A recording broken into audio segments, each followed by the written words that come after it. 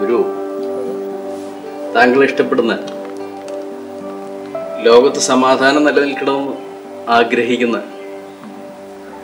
കുറെ നമ്മുടെ മലയാളികൾ ഉണ്ട്. അവർക്ക് എന്തുപദേശം കൊടുക്കാൻ സാറിന് ഉപദേശത്തിൽ കൂടെ ഒന്നും ആരും നന്നാവില്ല. നന്നാവില്ല. അനുഭവ സമ്പത്തിൽ നിന്നുള്ള കാര്യങ്ങൾ പറഞ്ഞ് മനസ്സിലാക്കി കൊടുക്കുക എന്നുള്ളതൊരു ഗുണം ചെയ്യുന്ന കാര്യമാണല്ലോ. അതിൽ നിന്ന് അവരെന്തെങ്കിലുമൊക്കെ ഉൾക്കൊള്ളണമെങ്കിൽ ലോകത്തിന്റെ ആദ്യം മുതലേ ദൈവത്തിന്റെ പ്രവാചകന്മാരോ ദൈവദൂതന്മാരോ അല്ലെങ്കിൽ ദൈവത്തെ സ്നേഹിക്കുന്നവരോ വന്നിട്ട് ഈ ലോകത്തിന്റെ തിന്മ കാണുന്നുണ്ട്. കാണുമ്പോൾ എല്ലാവർക്കും വളരെ വിഷമം തോന്നും. ചിലർ അതോട് വളരെ ശക്തമായിട്ട് പ്രതികരിക്കും. ബൈബിളിലും പഴയ ബൈബിളിലും മറ്റുമുള്ള പ്രവാചകന്മാരുടെ ഒരു സെക്ഷനുണ്ട് പ്രോഫിറ്റ്സ് അത് നമ്മൾ വായിക്കുകയാണെങ്കിൽ അവരെ ജീവൻ പോകട്ടെ എന്ന് വിചാരിച്ച് രാജാവിനെയും ഭരണാധികാരികളെയും വലിയ പുരോഹിത പ്രമാണികളെയും ഒക്കെ ഉപദേശിക്കും.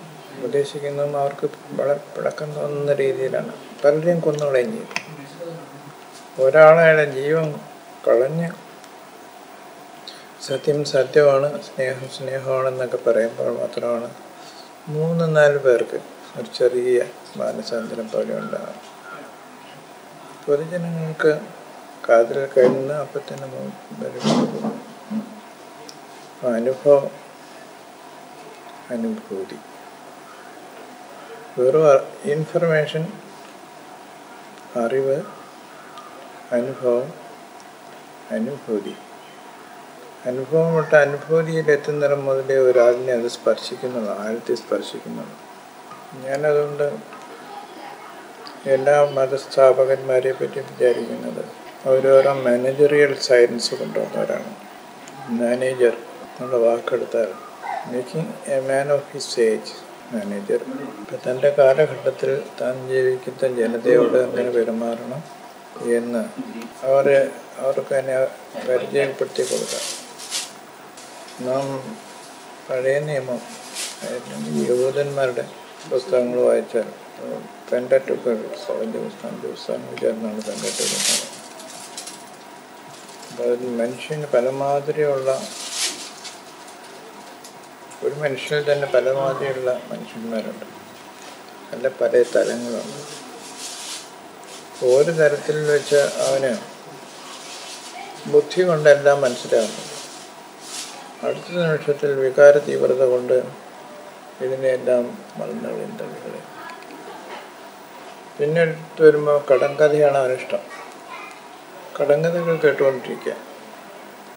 എന്നാൽ ഉത്തരവാദിത്വം വരുമ്പോൾ കടങ്കഥ കൊണ്ട് ഒരു പ്രയോജനമില്ല ഇങ്ങനെ പല സോൺസും മനുഷ്യരിലുണ്ട്. അതുകൊണ്ട് വന്ന ഓരോ പ്രവാചകനും ഓരോ ഉദാഹരണം വേണ്ടി വന്നു ഓരോരുത്തരെ പഠിപ്പിക്കുന്നത് അത് വേറെ ഒരാൾക്ക് അത് പ്രയോജനപ്പെടില്ല. അനുഭവപ്പെട്ടാൽ മാത്രമേ അതുകൊണ്ടാണ് നമ്മൾ ഓരോ പ്രവാചനെ എടുത്ത് നോക്കുമ്പോൾ വലിയ ആൾക്കൂട്ടങ്ങൾ വന്നിട്ട് അതിൽ രണ്ടോ മൂന്നോ പേര് ഇവന്റെ ജീവിതത്തോട് ഒട്ടിപ്പോകുന്നു.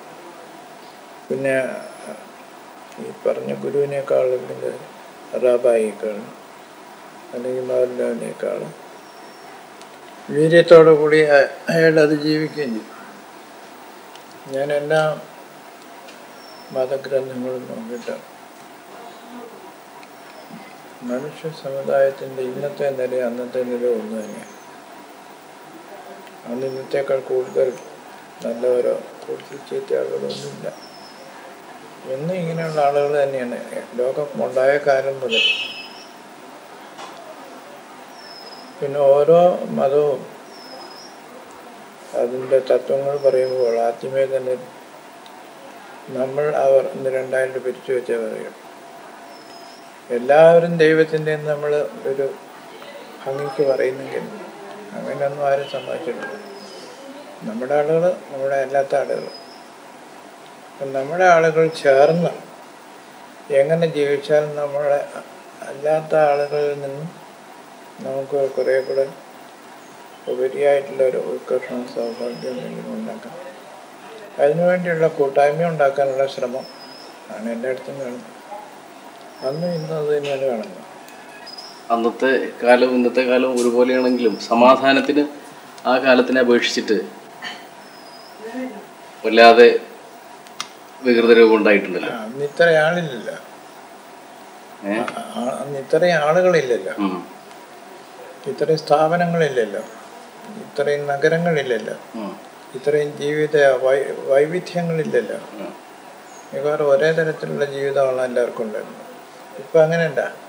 ഒരാൾ ചെയ്യുന്നത് വേറെ ഒരാൾക്ക് ചെയ്യേണ്ട ചെയ്യാൻ ഇഷ്ടമില്ല അവന് വേറെ ഒന്ന് ചെയ്യണം. ഞാൻ നിന്നേക്കാൾ മികച്ചവനാണ് എന്നറിയണമെങ്കിൽ ഞാൻ ചെയ്യുന്നത് നിനക്ക് ചെയ്യാൻ കഴിയില്ലെന്ന് മറ്റുള്ളവർക്ക് ബോധ്യമാണ്.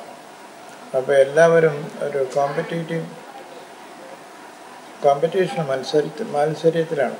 അതുകൊണ്ടാണ് നമുക്ക് തോന്നിയത് സമാധാനം കുറവാണ്. അന്നം പ്രാണൻ മനസ്സ് വിജ്ഞാനം ആനന്ദം എന്ന അഞ്ച് നിലകൾ ഓരോരുത്തരിലുമുണ്ട് അന്നം തെറ്റിപ്പോവുകയാണെങ്കിൽ അന്നത്തോട് സംബന്ധിച്ച് നിൽക്കുന്ന ഒട്ടേറെ സമതുലിതകൾ അവർ തെറ്റിപ്പോകും കൃത്യസമയത്ത് ആഹാരം കഴിക്കാൻ സാധിക്കുന്നില്ല. ആഹാരം തനിക്ക് ഇഷ്ടമുള്ള കാര്യം ഉണ്ടാക്കാൻ കഴിയുന്നില്ല. ആഹാരത്തിന് പൊരുൾ തടാൻ ഉള്ള സാധ്യതകൾ കുറഞ്ഞു വരിക.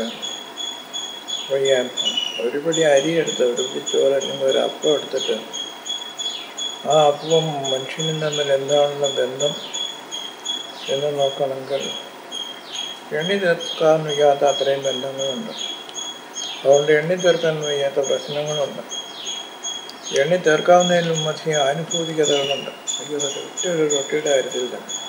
ഒരു തുറന്നൊരു സ്ഥലത്ത് ശുദ്ധവായുവിൽ ഒരാൾക്ക് മലർന്നു കിടന്ന് ആകാശത്തെ നോക്കിക്കൊണ്ട് അയാളുടെ ഇഷ്ടമുള്ള വിചാരം കൂടി അതിനെ ഒന്ന് പുനരാവിഷ്കരിക്കും ചെയ്യുകയാണെങ്കിൽ വലിയ ആനന്ദം ഉണ്ടാവും പക്ഷേ എന്തിന്റെ നടിന്റെ ഇടയ്ക്ക് ഒരാൾക്ക് അങ്ങനെ ഇരിക്കാനോ കിടക്കാനോ ഒന്നും സാധിക്കാത്ത പശ്ചാത്തലമാണ് ഇപ്പോൾ ഉണ്ടായിരിക്കുന്നത്. ഇവിടെയുള്ളവർ ഓടി എന്തിനാണ് മരുഭൂമിയിൽ പോകുന്നത്?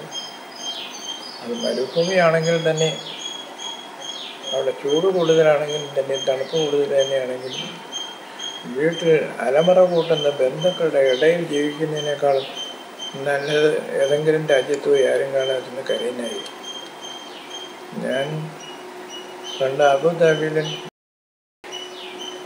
ഷാർജയിലും പോയി പല വീടുകളിലും സന്ദർശിച്ചു. എല്ലാവരും ദുഃഖിതരാണ്. എല്ലാവരും ദുഃഖിതരാണെങ്കിലും ഒരു കാര്യത്തിൽ അവർക്ക് സന്തോഷമുണ്ട്. വീട്ടിലുണ്ടായിരുന്ന ഇവിടെ ഉണ്ടായിരുന്നപ്പോൾ ഉള്ള ദുഃഖം തീരെ പണമില്ലാതെ ഉള്ള ദുഃഖമാണ് അപ്പോൾ അപ്പന്റെ ഒരു വീട് വെച്ചു കൊടുത്തു. പെങ്ങളെ കല്യാണം കഴിപ്പിച്ചു. എന്ന് അവിടെ ഇരുന്ന് ഓർക്കുന്ന സമയത്ത് വലിയ സന്തോഷമുണ്ട്. എന്നാൽ ആ സന്തോഷം ഇവരത് മനസ്സിലാക്കുന്നില്ല എന്ന് ഓർക്കുമ്പോൾ അതിനിരട്ടി ദുഃഖമുണ്ട് ഒന്നുകൊണ്ടും മനുഷ്യൻ സമാധാനിക്കില്ല. കാരണം അവൻ വേറൊരാളുടെ ഹൃദയത്തിലാണ് ജീവിക്കാൻ ശ്രമിക്കുന്നത്. ആ ഹൃദയത്തിൽ ഇടം കിട്ടുന്നില്ല എന്ന് വരുമ്പോൾ പിന്നെ സന്തോഷിക്കില്ല നേരെ മറിച്ച് ഇപ്പോൾ ഇവിടെ തന്നെ ഒരുത്തൻ സന്തോഷിക്കണമെങ്കിൽ എല്ലാവരും ദൈവത്തിലേക്ക് തിരിയണം പറയുന്നതിന്റെ ഒരു കാര്യമാണ് നമുക്ക് ശാശ്വതമാക്കാൻ കഴിയുന്ന ഒന്ന് എനിക്ക് ദൈവമുണ്ട്. ദൈവം എന്നെ സ്നേഹിക്കുന്നു ഞാൻ ദൈവത്തെ സ്നേഹിക്കുന്നു എന്ന് പറയുന്നത് വെറും വാക്കല്ലാതായി തീരുന്ന ചില സമയങ്ങളുണ്ട്. ഖുറാനിൽ നിന്ന് ഞാൻ പഠിച്ച ഒരു ഏറ്റവും വലിയ കാര്യം. നിനക്ക് നിന്നെ പോലെയുള്ള ഒരു മിത്രത്തെ ദൈവത്തിൽ കണ്ടെത്താൻ കഴിയുന്നു എന്നുള്ളതാണ്. ആകാശങ്ങളെയും ഭൂമികളെയും ഭരിക്കുന്നതായ ദൈവമല്ല. നീ നിന്നെ ഓടിക്കുമ്പോൾ നീ ഓടുമ്പോൾ നിന്റെ തോളിൽ തന്നെ തൊട്ടുകൊണ്ട് നിന്റെ പിന്നാലെ ഓടുന്ന ഒരു ദൈവം. ദൈവം തന്നെ ഓടിക്കുന്നത് ഓടുന്ന സമയത്തും വിട്ടുകളഞ്ഞിട്ട് ഓ മാറി നിൽക്കുന്ന നോക്കി രസിക്കുന്നില്ല നമ്മളോടുന്ന ഓട്ടത്തിന് ദൈവം ഇവിടെ ഓടുന്നു. ആ അത് ഉള്ളിൽ ബോധ്യം വരുന്ന സമയത്ത് അതിനോട് തുല്യമായിട്ട് വേറെ ഒന്നുമില്ല ഈ തരത്തിലൊക്കെ നമുക്ക് കാര്യം പറഞ്ഞ എന്താ മനസ്സിലാക്കുന്നതായിട്ടുള്ള മഹാവേദ സത്യവേദങ്ങളാണ് നമുക്കുള്ളത്. അതിലൊരു വേദം പോലും ന്യായമായിട്ട് മനുഷ്യന് ഉപയോഗപ്പെടുത്താത്ത രീതിയിലാണ് ഇപ്പോൾ ഇരിക്കുന്നത്. എന്റെ പൊക്കണത്തിൽ ഇനി എന്ത് ശേഷിക്കുന്നത്? ഒന്നുമില്ല. ഇനി വഴിയരികിൽ കാണുന്ന സത്രത്തിൽ കടന്നുകൂടണം. മൗനം ഭജിച്ചു കഴിയണം. അത്ര തന്നെ. പിന്നെ എന്ത് സംഭവിക്കും? അതാരും അറിയണ്ട. എന്നാൽ ഇപ്പോൾ എനിക്ക് മനസ്സിലായി പ്രഭു. വിരാമം എന്നൊന്ന് എന്റെ ചിന്തയിലില്ല. നീ തെളിക്കുന്ന വഴി അനന്തമാണ്. ചേതനയുറ്റ വാക്കുകൾ എന്റെ നാവിന്റെ തുമ്പിൽ നിന്നും വഴുതി വീഴുമ്പോഴേക്കും നവ്യസംഗീതത്തിന്റെ ദിവ്യോത്സവം ഹൃദയത്തിൽ അലയടിക്കുകയായി. പഴയ മാർഗങ്ങൾ അടഞ്ഞുപോയെങ്കിൽ എന്ത് അതാ പുതിയ രാജ്യങ്ങൾ ഒടുങ്ങാത്ത അത്ഭുതങ്ങളുമായി എന്നെ മാടി വിളിക്കുന്നു ടാഗോർ ഇങ്ങനെ തന്നെയാണോ പാടിയത്? ഇനി സമാധാനമായി കിടന്നുറങ്ങാം. ഇനി മകളുമില്ല ഉത്തരവാദിത്വവുമില്ല. വീണ്ടും സന്യാസിയായിരിക്കുന്നു. ആരുമില്ലാത്തവൻ ആരുടേതുമല്ലാത്തവൻ. മോക്ഷമായി. ഇത് തന്നെയാണ് മുക്തി. ഒരു കെട്ടുപാടുമില്ലാത്ത സ്ഥിതി. ഉറക്കം പെട്ടെന്ന് വന്നു. ഉണർന്നപ്പോൾ നല്ല വെളിച്ചം. സൂര്യനെത്തിയിട്ട് നേരം കുറേയായി കാണും. സന്യാസിമാരായാൽ രാവിലെ എഴുന്നേറ്റ് കുറേ സമയം ധ്യാനത്തിലിരിക്കണം. ധ്യാനിക്കുക എന്ന് പറഞ്ഞാൽ അത് ആലോചിക്കേണ്ട വിഷയമാണ്. ഇങ്ങനെ കാട് വേറേണ്ട ഊണ് കഴിക്കാം.